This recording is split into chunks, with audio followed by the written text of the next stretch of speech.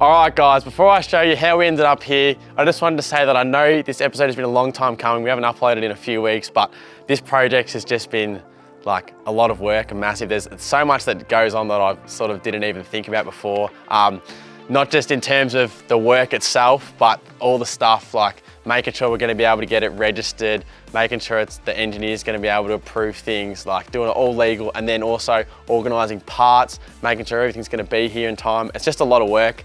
Um, so hopefully you can bear with us um, if there's a bit of a break between episodes, but we're sort of filming this on the fly and uploading as we go. So pretty much where you see it on the internet is where I'm up to. So we're not that far ahead. Yeah, so it's gonna be a long process, but stick with us because I'm sure things will start to ramp up once we sort of get into the further stages of the build and we'll be able to put stuff out a lot quicker and get the ball really rolling. So I hope you guys enjoyed this episode. It's been a lot of work and, but you know, I'm proud of what's happening and what I've been doing, so hope you enjoy it too. Cheers, guys. All right, guys, welcome back to Aussie Arvos. Today, we're finally getting stuck into the build. We've got a lot to do, so I'm not gonna waste any time beating around the bush. We're just gonna get stuck into it, start pulling this chassis apart, getting rid of everything we don't need so we can get it ready to be painted. Luckily for me, there weren't too many things that needed to be pulled off this chassis, just a few basic things like hard lines, including brake lines and fuel lines, as well as a fuel tank and a few other fuel lines and some small electrical cables.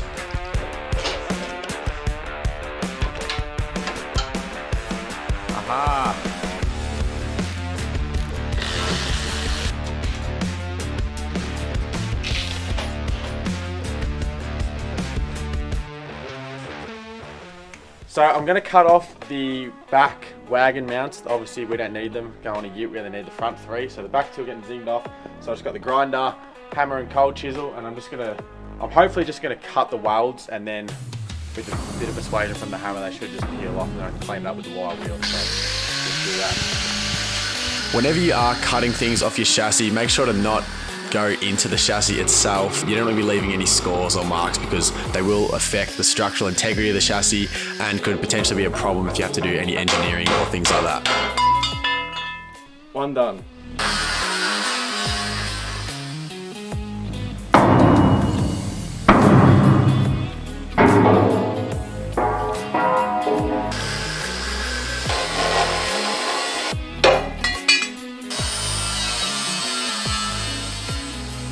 All right, so cab mounts at the back have been cut off. I've cleaned up uh, where there were little bits of the weld. And um, now I'm just gonna give it a good clean uh, with the gurney and degreaser and wire brush. Try to get as much stuff off as I possibly can um, before I'll start wire wheeling sections. Um, and then we can sit the bracing up against the chassis and the tray mounts and see where we've got to go back to bare metal for welding. So yeah, getting through it. So let's give this thing a good clean.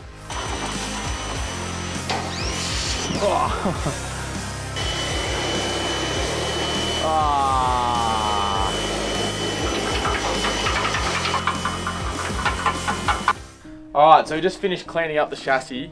Um, we've uncovered a few little things that I, uh, I don't know, probably wasn't expecting. Uh, first, there's a fair bit of rust in the coil towers, like the tops, because these have like a little plate on them. They were filled with dirt and water, and so they've like rusted out pretty bad. It, oh wow, it should be salvageable. Like there's no holes other than the drain holes that were already in there.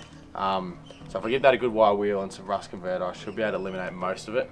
Um, and then the other thing is the, the whole like underside and side of the chassis is covered in some sort of paint that's like well. really bad. So they've obviously tried to respray it at some point with something, um, and they've just done it from under the car. Um, and so it's not on top, but like I don't know if you can see in here. There's like all these little flakes and stuff, and all this stuff we've been peeling off um, because it's just started coming off. So I'm gonna have to pretty much go over the whole chassis and get rid of all of this before we can spray. So yeah, so we'll just get start start wire wheeling and yeah, see where it takes us.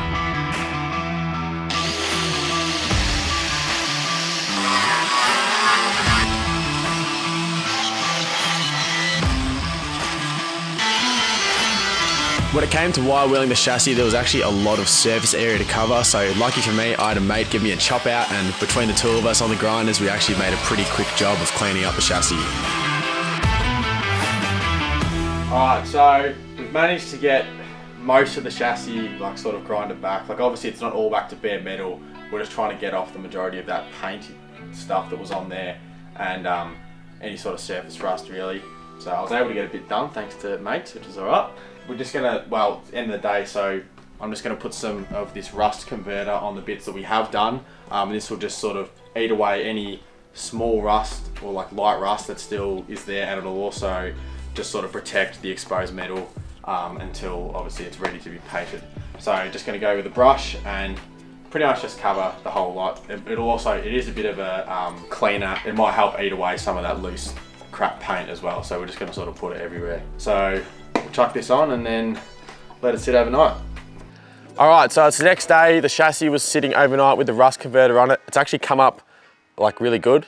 Um, the surface looks pretty clean. Like Obviously not everywhere's back to bare metal, but in terms of just no like rust on the surface, it all looks good. Um, there were a couple spots where the rear tires sit up against the chassis. We couldn't get the grinder in there to wire wheel off that old paint that was sitting on there. Um, so this morning's mission is going to be to pull the front and rear diff out. That way I can get to those spots as well as be able to flip the chassis over um, and then do the underside. And then that'll be all our surfaces done, prepped.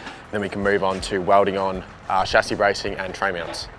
Alright, so we've ripped the diffs out, we've flipped the chassis upside down, so now I can access the whole underside for wire wheeling. So now it's just, yeah, more wire wheeling. So I'll just pretty much go over the whole bottom side, um, anywhere I couldn't access when the wheels were still on, and then should be one step closer to getting this thing painted.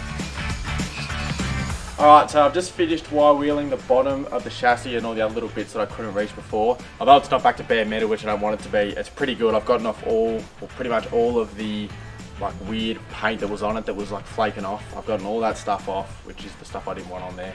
Um, so with that done, I'm going to give it a quick blow off with compressed air, blow out any more crap that I can. And then we're going to hit it with the rust converter again along the bottom. Uh, let that sit and we'll flip it over and then we can um, wipe it down with a solvent cleaner, the whole chassis.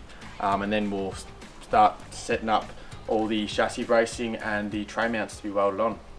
All right, so we're ready now to start marking out where all our tray mounts and chassis bracing has to go on. So I'll show you the kit I've bought. So this is the PSR uh, wagon to ute chassis conversion kit. From what I've found, they're pretty much the only people that do a kit. Um, like for one, I couldn't even find just tray mounts on their own. And these were the only guys that sold tray mounts or aftermarket ones weld on.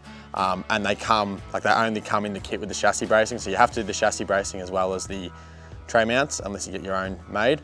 Um, but apparently it's, that's advised because the wagon chassis uh, don't have the same sort of strength as a ute chassis. So it is advised to do the chassis bracing. Can also help with like chassis flex and stuff like that.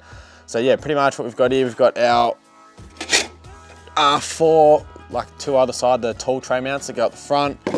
Um, there's the short ones that go at the back of the chassis. Um, and then there's the chassis bracing, which is the plating. So that's like the forward front section. So it's all sort of cut out the suit. So that's where your um, mount is for your lower uh, trailing arm. And then for all your cross members, there's little cutouts where the cross members sit. Um, so there's one of those for either side. And then there's also a little short one that goes at the back on one side. And then there's another little short one for the back of the other side. So yeah, pretty much that's the bracing kit and you've just got to mark out where it all sits and then weld it on. So yeah, that's pretty much the kit, but we can start marking out where it's going to go. I'm pretty much just going to clamp it on where it's got to sit.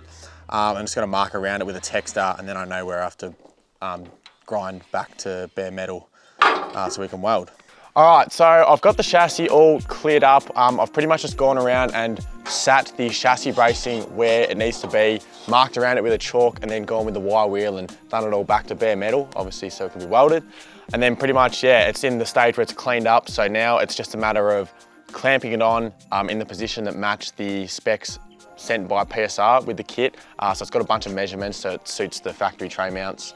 Um, so pretty much you just want to make sure this is all in the right spot. It's not something you want all, all over the place, you know, because you want to be able to bolt on a factory tray if you want, or just to meet specifications for load spread, all that sort of stuff.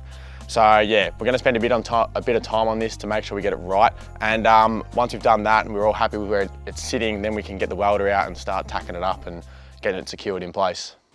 All right, so we just got the chassis bracing sitting where we want it. We're just gonna tack it in place first before we do any proper beads. Uh, we just wanna make sure it's all in the right spot and that the chassis mount, uh, the tray mounts are gonna sit right as well. So we'll just tack it on. Um, the welding setup is it's a Cigweld, Easy Weld 160. Uh, MIG welder also does stick. Um, and then we got 5.2 argon mix gas, pretty standard stuff. Um, for, as for setting up the welder, I've just set it to the steel thickness and the wire thickness that we're using and it just adjusts the um, wire speed and the voltage to suit and we can obviously play with that if we feel it's not quite what we need. So yeah, we'll just get stuck into it and put a few tacks on and get, and get it held in place. Now, I'm not a professional welder by any sense of the word, but when it came to doing stuff like this, I was pretty much just making sure that my settings were right on the welder so that I was going to get enough penetration and make sure it was all structural. So, luckily, the welder made it easy for me to do that. So, I just played around with the settings and I managed to get some pretty good welds on.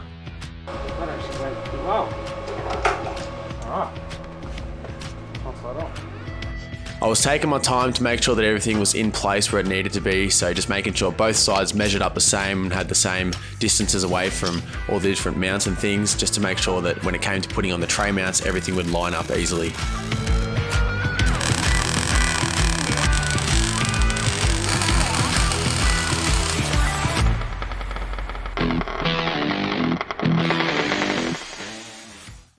All right, so that's the chassis bracing tacked on.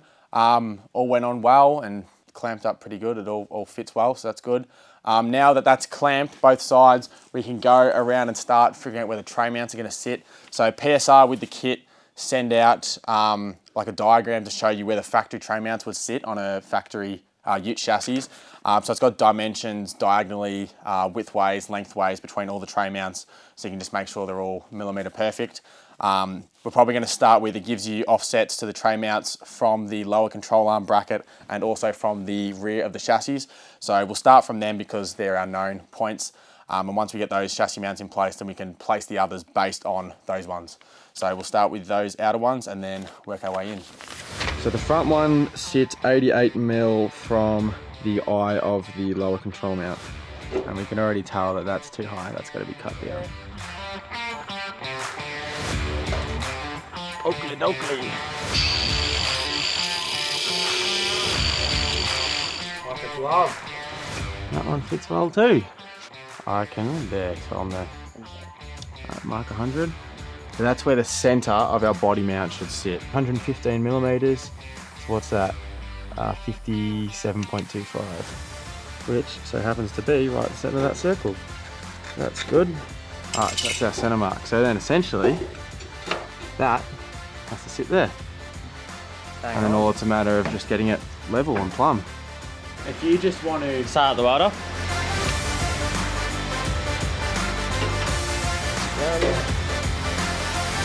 Yep, that's good. Before setting up the tray mounts, I made sure to level the chassis itself That's just to make that's sure that when I was putting on the tray mounts and using the level across the top, they weren't going oh, to end up sitting on an angle when the car was finally sitting on wheels. So definitely make sure the chassis is level as that's the surface you're working on.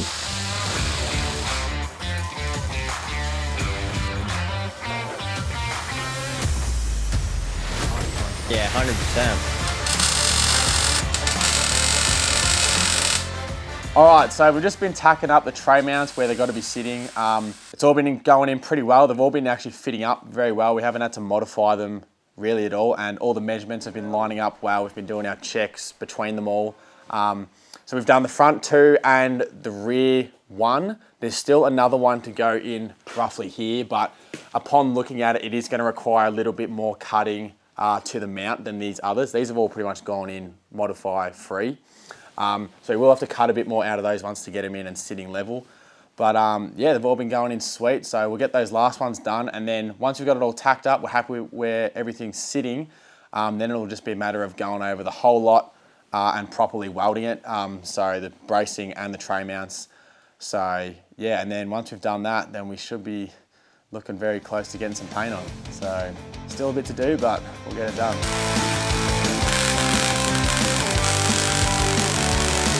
Made sure that when I was doing my final welding that I wasn't focusing too much heat in one area. So after doing a bead on one side, I'd move down to the other end of the chassis or swap sides and just making sure that everything stays cool and doesn't get too hot.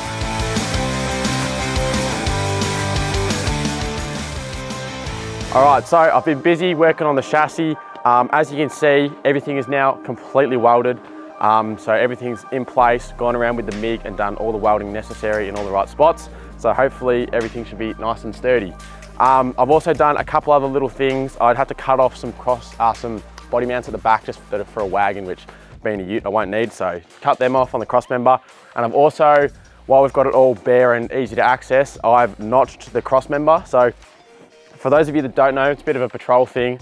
Um, if you have a lot of suspension travel in the rear, uh, you, when you drop right down your suspension, the rear tail shaft can actually hit the cross member and contact.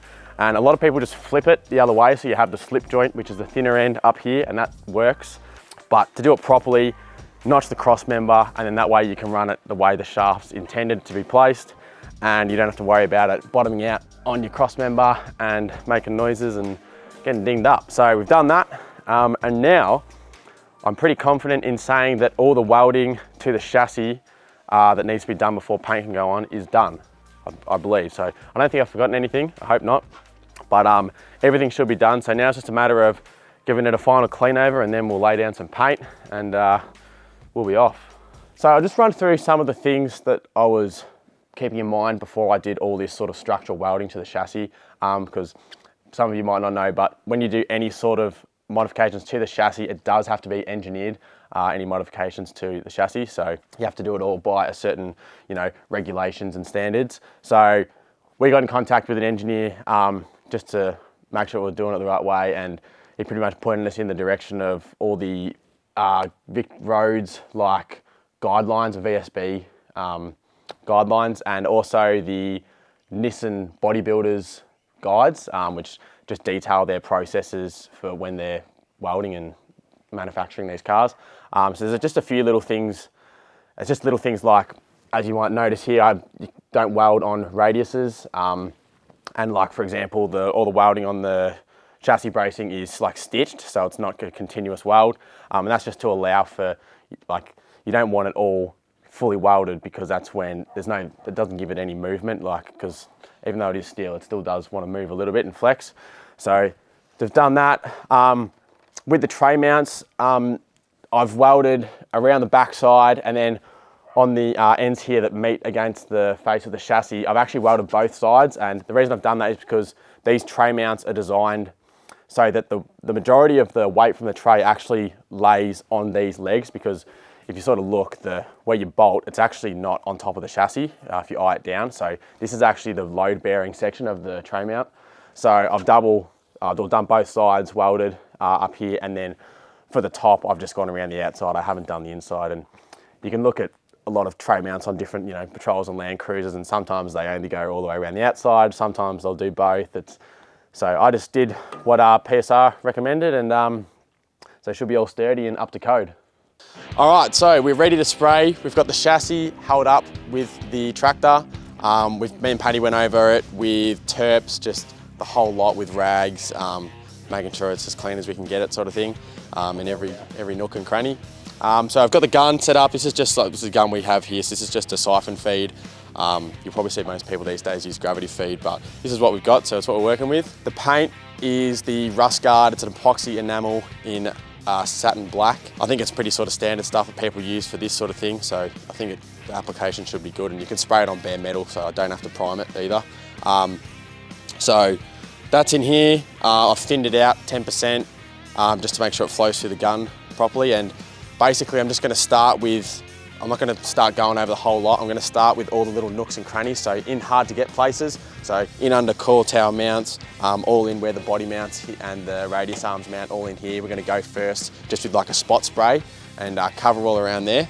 And then once we've done them, then I'll come back and do all the big sprays along the chassis and I'll set, set this up to more of a fan. Yeah, and we'll just get a coat on and then we're to let it dry for like, it's a fair while, it's like 12 hours or something and then put another coat on. So that'll be tomorrow. But um, yeah, so let's stop messing around and start painting. Now I've never really sprayed something like this before, but I made sure to do a bit of research online and get a bit of know-how on what to do. So I was pretty much just setting the gun up so it was shooting sort of thin and that way I could make sure I wasn't going to get any runs and I'd just go over areas multiple times to make sure there was coverage and I didn't have to worry about putting on too much paint and getting some drips.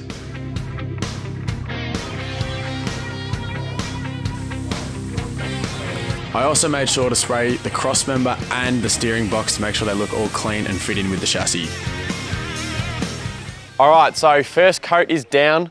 Um, it all went on really well. Um, yeah, no runs whatsoever, all sprayed on well. You gotta make sure you get all the little bits like inside of these shock towers and stuff. Like it's a bit, you gotta do a lot of underneath stuff, which can be a bit tricky, but got through it all. I think I've got everywhere that I can see. Obviously, we'll be doing a second coat as well, so that's like your top coat, so it'll make it look a bit nicer and then also bring up the thickness a bit, make sure it's um, gonna stay on there good. I'm not gonna show you the second coat because it's the exact same process, but yeah, so all the chassis stuff should be done. So next we're gonna be turning it into a rolling chassis. So we've got the diffs sitting there, they've been waiting to go under, so we're gonna be chucking them in. We've got all our suspension bits and pieces sitting there waiting to go in and there's a few cool bits there that I wanna show you guys. So yeah, that's the next stage of the build. You know, any suggestions, thoughts? I mean, it's sort of all done now, but you can still tell me whether I stuffed up because I probably did something wrong or not by the book. But anyway, I'm pretty happy with how I've gone for like, this is the first time I've tackled anything sort of this massive. So